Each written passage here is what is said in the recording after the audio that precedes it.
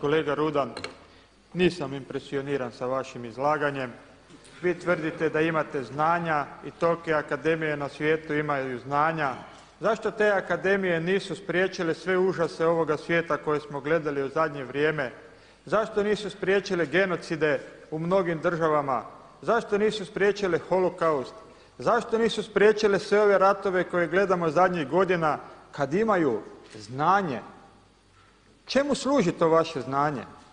za proizvodnju oružja, smrti, za zagađivanje prirode, uništavanje životinjskih vrsta i prirode,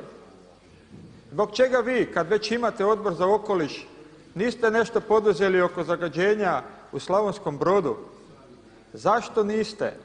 poduzeli nešto oko bušenja Jadrana, kad štitite navodno ljudska prava i imate veliko znanje zašto ne poduzmete nešto oko pitanja deložacija, oko blokada računa, zbog čega danas predsjednik Sabora govori da ćemo mi ovdje raspravljati o tome što se dogodilo u Drugom svjetskom ratu i u Domovinskom ratu, pa zar ćemo mi pokraj vas živih i zdravih o tome raspravljati, vi mislite da mi imamo veće znanje o tome nego vi, što ste čekali 70 godina da niste rekli šta se dogodilo u vrijeme Drugog svjetskog rata, pročitajte radove koji su objavljivani u bivšoj Jugoslaviji, to je sve bačeno na smeće jer su tamo pisane neistine i gluposti, antihrvatske, to je radila vaša akademija, pročitajte, nemojte sad se tu skrivati, ali to radite i danas, recite nam istinu, ozdravite ovo društvo,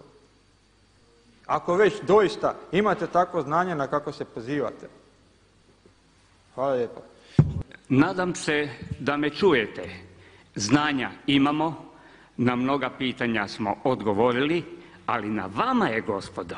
upravo na vama kolega Bunjac i svima onima koji ne znaju o čemu se radi da postavite pitanja i da ih riješite. Sabor je mjesto gdje se donose rješenja. Mi smo vam na to ukazali. Ako ste sposobni shvatiti ono što smo vam poručili, sve je u redu. Ako niste, vjerujem da vas hrvatski narod više sljedećeg puta neće izabrati na ovu časnu funkciju koju bi morali obavljati. Hvala vam lijepo.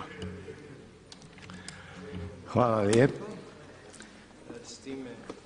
S time zaključujem raspravu, zahvaljujem glavnom tajniku